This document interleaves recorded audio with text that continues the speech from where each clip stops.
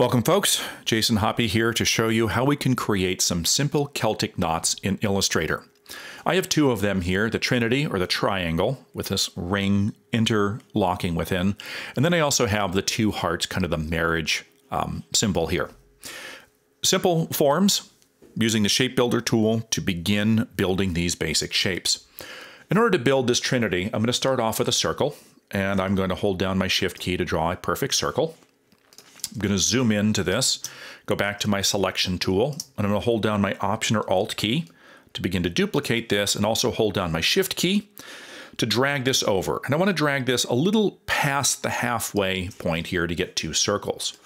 I'm going to select both of these with my selection tool, and I'm going to use my Shape Builder tool, which is Shift M, which is this snowman on its side.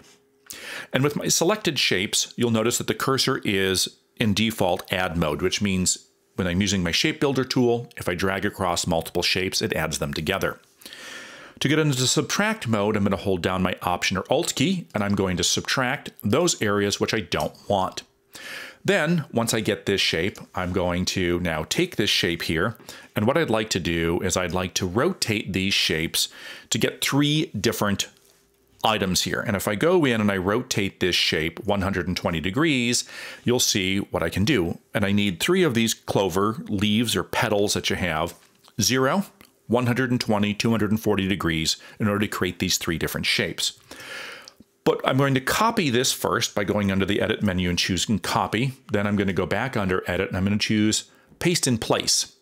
And the paste in place is going to give me a copy of it right on top of itself right here. And it's weird because when it does this, for some reason, it gives me two copies of this. And I don't know why it does that. So if you just want to do a standard copy and paste, that's fine. I like to paste in place only because it puts it right on top, but for some reason it gives me two. So I'm just going to do the copy paste. I'm going to rotate this pasted one 120 degrees and I'm going to move it over and I'm going to put it so that the curves match perfectly with the curves of my existing shape.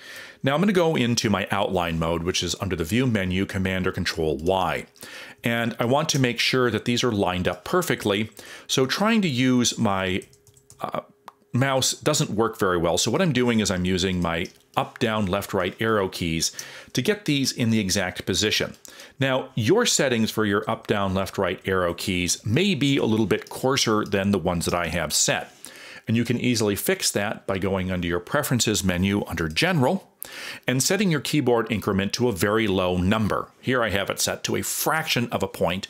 So when I move my shapes here, I can get very, very precise and get these overlapping with each other just where I want them to be. Now I'm going to go ahead and copy this shape again and then paste it. And I'm going to rotate this shape 240 degrees. So 120, 240, 360. And I get my three petals here. And I'm going to move those into position. And again, use my upright, up, left, down, right arrow keys to get that right into position and line those up as best as I possibly can. Okay. Now I'm going to go back into the view menu and go back under my Command or Control Y to view what's going on. Selecting these shapes, I'm going to beef up the weight of these lines here, say to about 8 points. Then, under the Object menu, down to Path, I'm going to outline these strokes to turn these into shapes. I'm going to use Shift X, which is this little double-ended arrow here, which swaps my fill for my stroke color. And I'm going to bump up the stroke weight a little bit here. Now what I'd like to do is I want to create this over-underlap effect of these three to make this a continuous knot. So back to the Shape Builder tool, which is Shift-M, and I'm going to then merge these together here so it looks like this pathway goes over. I want it to go under here, so I want to take this and merge those together to make this look like it's under. And then this is going to look like it's going over, so now I want to merge these together right here and now what I end up with is I end up with my over under effects.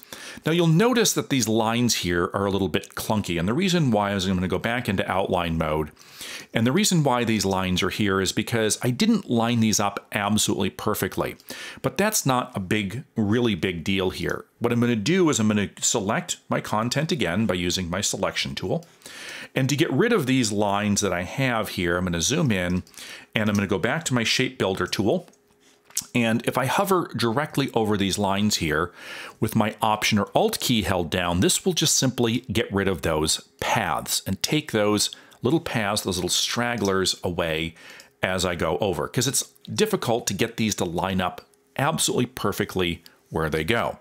But if I hold down my Option or Alt key, and click on the paths, then I'm going to get rid of those little stragglers. Now you'll notice that some of this content looks like it's a little bit jagged, okay? Well, there's a quick and easy way to fix this. If you go into your stroke panel and you click on your stroke and you go into your corners here and your corners are no longer square, you round those corners, what that's going to do is that's going to get rid of all those little jagged edges and also nicely rounds any of your corners there. So it kind of cleans that up really well. So with this, I now have my kind of interlocking petals. Now, I'm going to go back in and I'm going to put my cursor right in the center here and I'm going to hold down my Option or Alt key. I'm going to draw another circle here and I'm just going to kind of move this so that it's optically in the center as well. Okay, and what I'm paying attention to is I'm paying attention to this being in the center of this kind of apex shape and then making sure that these three sections match in equal space. I'm going to bump this up to eight points because that was what I had used before.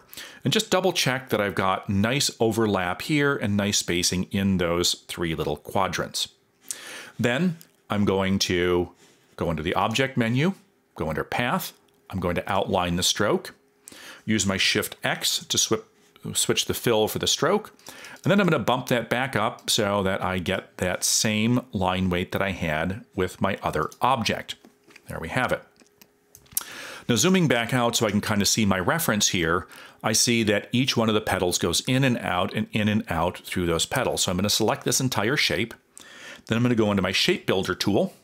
And what I do is I go in with my Shape Builder tool, zoom in a little bit more so you can see. I'm going to follow along this path to add these together. And so the areas that I want to go underneath, I'm going to choose my overlapping path to then merge those together. And then follow my existing path to overlap and then go along my overlap path to make it look like it underlaps. Overlap on my following path, go ahead and underlap right there. And then take a look at that, and there we have our trinity, our triangle here, with our circle going in and out. Now this is all a stroke around here, so I can easily change the color of all of this, and it's all one shape.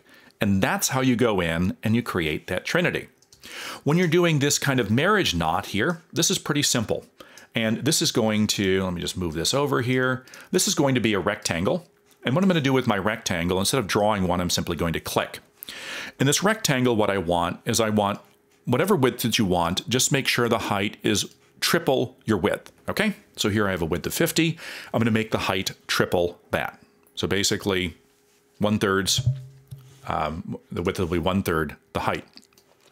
With my rectangle, I'm going to come back in with my direct selection tool, select just the top portions. I'm going to drag my corner widgets all the way in so I get a rounded top. Go back to my selection tool, hover over the outside edge, hold down my shift key to turn that 45 degrees. I'm then going to copy and paste that whole section right there and make sure I copy and paste the whole thing hold down my shift key, and then I'm going to shift and rotate the opposite direction 45 degrees. I want to line these up perfectly, so I'm going to go under my outline mode, which is going to be Command or Control Y, and I'm going to position those so that they meet exactly up on each other right there so that they fit. Beautiful. That looks great. Okay, so there is my crossover right there. Now I'm going to boost the stroke up here to a weight that I like, like so. And then I'm going to go into the Object menu. I'm going to go under Path, and I'm going to outline the stroke. I'm going to do my Shift X to flip the fill and the stroke right here. And then I'm going to copy and paste this whole section, rotate this 180 degrees, and then I'm going to bring this back down in here. And what I want to do is I want to line this up perfectly to where these centers are going to overlap and my lines are going to line up perfectly, okay? So I'm going to go into my Command or Control Y, and then I'm going to make sure that these lines line up exactly here where they should in the centers so that my overlap is touching right where it should. And your eyes go kind of buggy when you go ahead and do this. So there is my overall shape right there. I'm going to bump up the stroke weight a little bit so we can see.